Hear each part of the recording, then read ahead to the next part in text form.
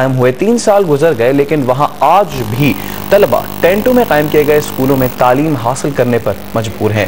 یہ طلبہ شدید گرمی اور سردی کی سختیاں بھی بڑے حوصلے کے ساتھ برداشت کرتے ہیں۔ ٹینٹ اسکولوں کا حال بتا رہے ہیں مناج الدین اپنی اس رپورٹ میں۔ دو ہزار سات میں شدت پسندوں کی ملکن ڈیویژن میں حکومتی رٹ ختم کرنے اور اپنی عملداری قائم کرنے کے بعد تقریبی کر روایوں میں ضلع بنیر کے مختلف علاقوں میں پینسٹھ سرکاری تعلیمی اداروں کو دھماکہ خیز مواد سے تباہ کر دیا گیا۔ جس سے ہزاروں طلبہ طالبات کا مستقبل متاثر ہوا، جبکہ گورنمنٹ ڈگری، کالج اور اسکول کو بھی تباہ کر دیا گیا۔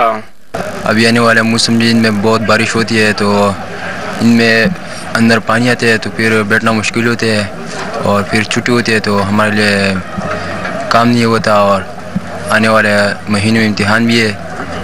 بارش کا پانی ٹینٹ میں آ جاتا ہے، جس کی وجہ سے ہم پڑھائی سے، ہم پڑھائی نہیں پڑھ سکتے اور گھر جاتا ہے، جس کی وجہ سے بچوں کے غیر حاضری میں بہت اضافہ ہو چکا ہے۔ علاقے میں حکومتی رٹ کی بحالی کے بعد معمولاتی زندگی دوبارہ بحال ہونا شروع ہو گئی۔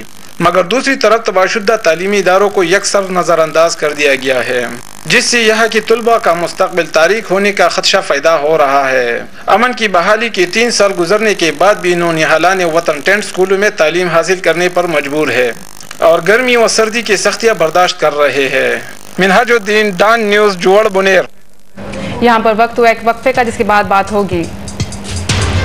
پاکستان نظاری باکسر عامر خان کا نام برطانوی باکسر آف دی ایئر کی فہرست میں شامل